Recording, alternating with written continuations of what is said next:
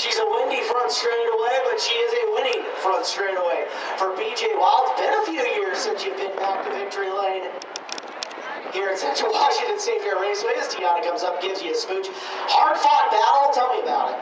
Uh, I don't know. We kind of found her at the bottom, and I just had to stick to it. I saw Travis and nose a few times, but just kept telling myself to hold my line and get my marks, and I guess we did it.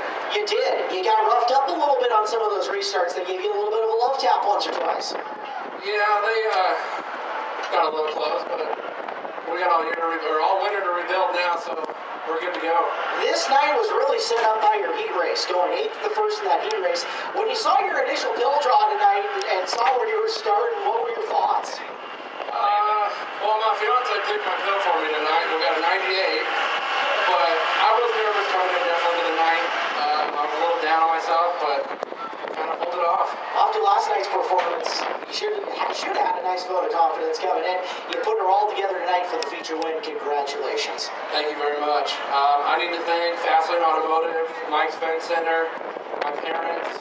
Um, without all them, PCD Chassis, without them, we wouldn't have this car together and racing this year. You have a bunch of fans coming to see you in the pit area after this one. Congratulations, man. Thank you very much. Ladies and gentlemen, BJ Wild feature winner of the Washington Modified Tour here tonight at Central Washington State Fair Raceway.